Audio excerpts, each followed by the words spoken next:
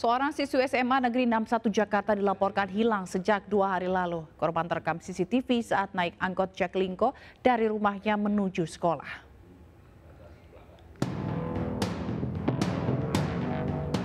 Dua hari sudah Sadiah, remaja 15 tahun ini tidak diketahui keberadaannya.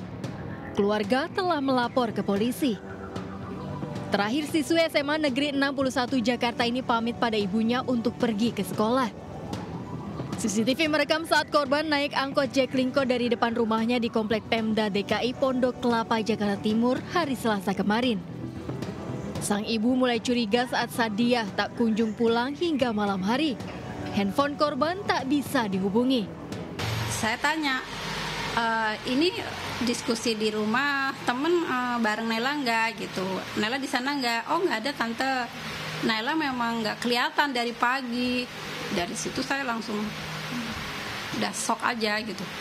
Aduh biasanya kalau uh, dia mau izin pasti bilang tapi dia nggak pernah bolos katakanlah nggak pernah bolos gitu.